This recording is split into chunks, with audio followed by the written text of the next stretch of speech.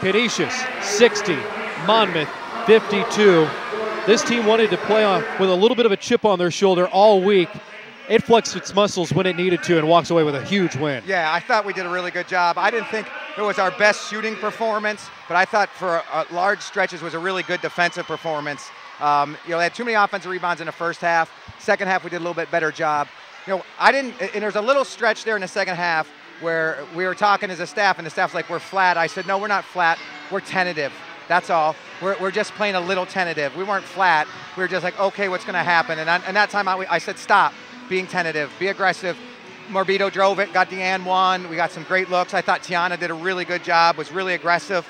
Um, you know, teams are going to try to take Jamie away, and I thought J- the other people did things. I thought Courtney was really good for us again. Her energy, um, her rebounding, and she had like three steals. She got gritty and got a bunch of steals down in there. Uh, so it's great. It was a great team effort.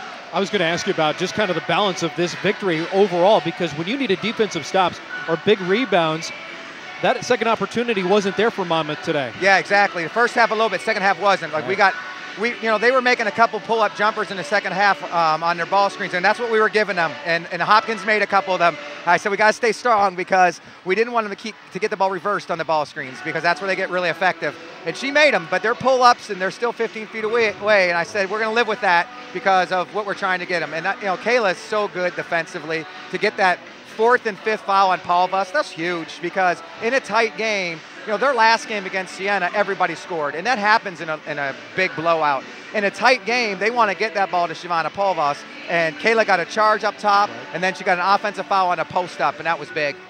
And nothing is ever easy, especially when you move into conference play. But this team made it free throws and dealt with the adversity on Sunday. And today you were forced to do the same thing, and you came through. Exactly. Got to make free throws down the stretch. Uh, Kayla's three is huge. Um, you know, on a day when she's not shooting them great, she has the guts to knock one down and, and late, and you, and you got to do that, right? You got to do it. I thought driving to the basket today, we got to the basket a little bit. Tiana did. She got there and got some finishes. A couple that she missed, she's going to make. She's just getting more comfortable at it because we haven't done it a lot. Like, but she can hang in the air and has nice touch off the glass. Hey, have to ask you about the atmosphere in here today. The girls love playing with this ambience.